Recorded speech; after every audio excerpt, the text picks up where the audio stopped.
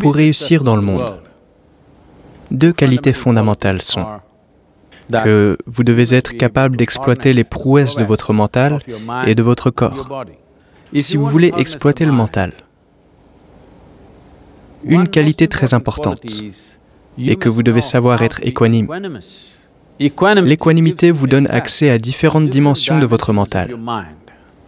S'il n'y a pas d'équanimité, avec une perception biaisée du mental, votre capacité à utiliser le mental est fortement réduite. Une autre dimension, c'est qu'au niveau de votre énergie, à la fois physiologiquement et intérieurement, vous devez être exubérant. Il n'y a que quand vos énergies sont exubérantes en vous que vous avez la capacité de surmonter les divers obstacles auxquels on peut être confronté au jour le jour dans nos activités pour réussir. Si ces deux dimensions sont incorporées à votre mental et votre corps, que vous êtes équanime et exubérant, vous réussirez beaucoup plus facilement.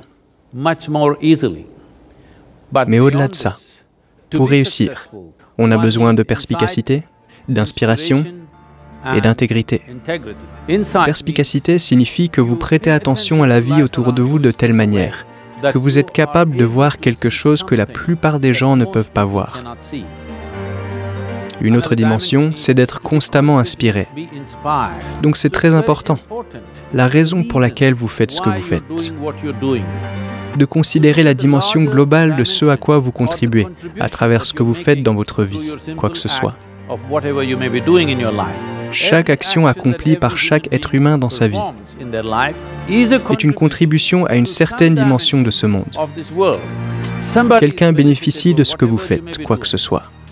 Donc être conscient de ce à quoi vous contribuez vous maintiendra constamment inspiré.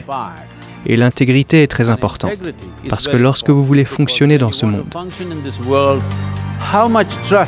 la confiance que vous avez générée avec tous ceux à qui vous avez affaire au jour le jour va déterminer la quantité d'efforts que vous allez devoir fournir au quotidien.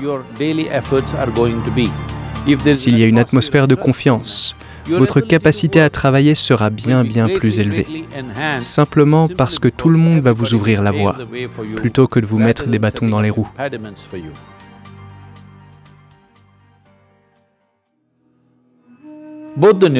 Les systèmes nerveux et énergétiques se ramifient tous deux considérablement entre les omoplates et au-dessus. Donc maintenir la région du cou en bon état est très important.